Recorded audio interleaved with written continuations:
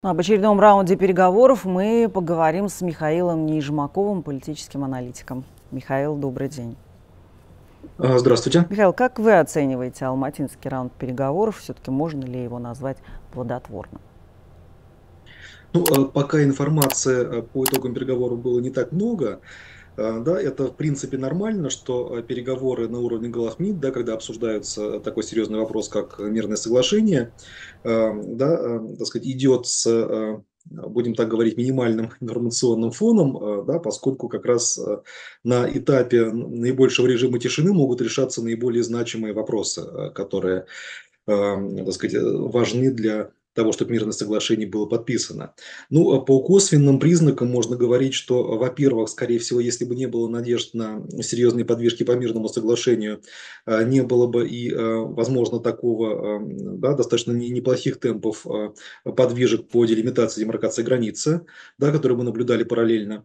Кроме того, мы видим, что как минимум накануне переговоров стороны упоминали о таком важном моменте, как разблокирование коммуникаций, то есть как минимум о том, что э, да, есть расхождения по этому поводу, но переговоры ведутся. Это также момент, который, скорее всего, будет отражен в мирном соглашении, и который является таким важным камнем преткновения между э, Баку и Ереваном. То, что это э, упоминается и затрагивается, тоже может говорить о том, что некоторые здесь, так сказать, подвижки тоже могут быть. Ну и плюс к этому действительно тот факт, что переговоры проходят э, на таком уровне, да, впервые без э, посредников, да, если мы говорим именно о встрече глав МИД, поскольку все-таки по делимитации границы, так сказать, прямые переговоры уже проходили, да, между вице-премьерами профильными Армении и Азербайджана, тоже может говорить о том, что есть, да, определенный прогресс в вопросе о мирном соглашении.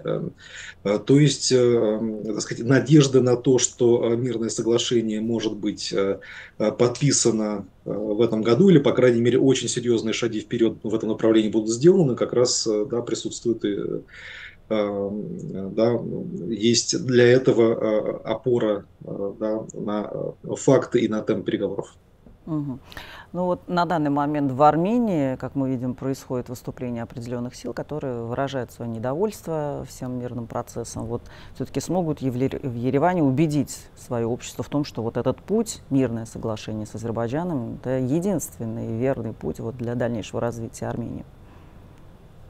Ну а, да, мы видим достаточно заметную э, протестную кампанию в э, Армении. А, в принципе, это ожидаемо, что всегда будет э, да, часть общественности, да, тем более после того, как так сказать, подвижки по урегулированию только начали э, да, проявляться, э, так сказать, что в Армении будет присутствовать эта часть общественности, которая, так сказать, э, высказывает недовольство или тревожность по поводу процесса делимитации границы и переговорного процесса. И мы помним, что в предыдущие годы также любая, да, любые даже слухи о неких подвижках в переговорах между Баку и Ереваном становились поводом для жесткой критики в адрес правительства Армении со стороны оппозиции. В принципе, пока мы не видим такой ситуации, чтобы нынешняя протестная кампания поставила а, под кардинальный удар а, позиции Никола Пашиняна. То есть мы помним, что за последние несколько лет было несколько очень серьезных протестных всплесков в Армении да, по массовости таких кампаний. Тем не менее, они не приводили к смене правительства, не ставили под угрозу так сказать, э, всерьез внутриполитические позиции Никола Пашиняна. Более того, да, мы помним, что и парламентскую кампанию 2021 года, да, так сказать, гражданскому договору партии Никола Пашиняна удалось э, провести в свою пользу э, на фоне, в общем-то, довольно заметной активности оппозиции и протестных акций. То есть пока, так сказать, нет явных предпосылок к тому, что эта протестная кампания всерьез помешает Э, темпом переговоров, возможно, что Ереван может на нее сослаться как на дополнительный фактор, э, э, чтобы какие-то, в какие-то моменты да, переговоров уйти, будем говорить так, более детально на более длительное время обсуждения, но тем не менее да, кардинально на там переговоров вряд ли все-таки это сейчас повлияет. Ну, в целом, любые прямые переговоры – это, конечно же, шаг вперед, но есть и другие такие токсичные интересанты, которые ну, вот, ведут двойную игру. Это вот наподобие Парижа. Все-таки, как вы считаете, куда Армения пойдет дальше?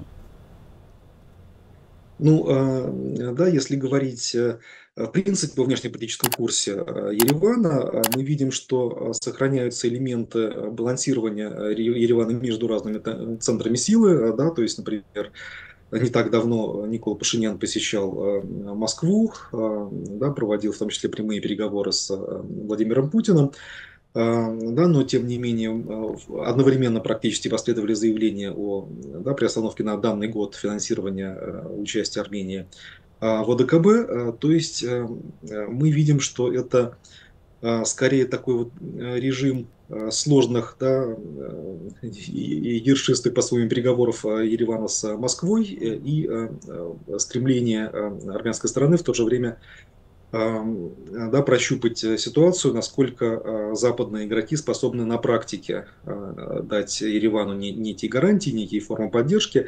То есть, скорее всего, вот такая тенденция, она будет э, длиться весь нынешний год, то есть будут периоды ну, чуть более активных переговоров между Москвой и Ереваном, да, так сказать, будет постоянное, скорее всего, да, проявление внимания э, той же самой Франции к э, Армении и будет э, довольно-таки неравномерное, скорее всего, внимание к ситуации на Южном Кавказе в сторону, сторону США, потому что мы знаем, что сейчас да, приближается решающая фаза президентской кампании в Соединенных Штатах, то есть, скорее всего, вот период примерно с июля-августа до ноября, да, как минимум, скорее всего, внимание США и к Южному Кавказу в целом, и к Еревану снизится, а в случае, если произойдет э, смена э, администрации Соединенных Штатов, то, скорее всего, и до января такая тенденция продлится, когда э, да, уже следующий президент США вступит в должность. То есть, конечно же, это создает для Еревана определенные риски, и это работает на то, чтобы да, правительство Никола Пашиняна вот такую да, балансировку между разными центрами силы сохраняло. Ну и да, здесь стоит отметить, что да, в свое время визиты а, президента Казахстана Касым Такаева в а, Баку сначала, да, потом Ереван в течение нынешней весны да, это а, не только может, могло быть некой да, предварительной подготовкой к тому, чтобы а, на площадке Казахстана прошли переговоры нынешние между Жиркуном Байрамовым и а, да, Ратом Мирзаяном, но и, возможно, к некому да, попытке заявить себя как посредника и в переговорах между Ереваном и Москвой. Да, мы помним, что, в общем-то, начинавший именно карьеру в Казахстане, да, нынешний генсек УДКБ Иван Калидос Магомеков в свое время тоже приезжал да, в Ереван в конце прошлого года. Да, ну, если возвращаться в целом, то мы да, можем увидеть, что будет с одной стороны да, все-таки, наверное, сложный формат переговоров между Москвой и Ереваном в целом в ближайший год. С другой стороны, и западные игроки, скорее всего, далеко не в том объеме смогут а, оказать поддержку Еревану, в какой это а, да, могут рассчитывать наиболее оптимистичные представители а, армянского руководства. Ну и последний вопрос. Как вы считаете все-таки, что на сегодняшний день продолжает мешать заключению мирного договора между Азербайджаном и Арменией? Ну, понятно, что остаются камни преткновения определенные, да, где позиции сторон расходятся. Вот то же самое с блокированием коммуникации, где Э, так сказать, э, традиционно а, разные взгляды были на этот процесс, да, кто будет контролировать э, ситуацию на, на этих логистических маршрутах, да, как это будет проходить, какие гарантии безопасности на этом маршруте будут. То есть понятно, что всегда на последний этап переговоров остаются наиболее сложные вопросы. Поэтому темп переговоров именно на таких заключительных этапах перед вероятностью заключения соглашения может да, несколько замедляться. Это обычная ситуация, да, мы по мировому опыту это видим. А, а, то есть, э, так сказать, э, сложные вопросы остаются, э, да, но шанс на то, что они будут в рамках переговорного процесса решены, также достаточно высок. А, и скорее тот факт, что, как я уже говорил, внимание да, некоторых западных игроков, включая те же США, к Южному Кавказу может несколько снизиться в ближайшие несколько месяцев, это может а, в итоге тоже сработать как дополнительный фактор, ускоряющий переговоры, поскольку в этой ситуации а, да, у того же Еревана все-таки более уязвимой становится позиция, и это дополнительный фактор, который будет подталкивать в данном случае Никола Пашиняна к тому, чтобы темп переговоров не останавливался. Спасибо большое за ваш комментарий. Михаил Нижмаков, политический аналитик, был нашим гостем.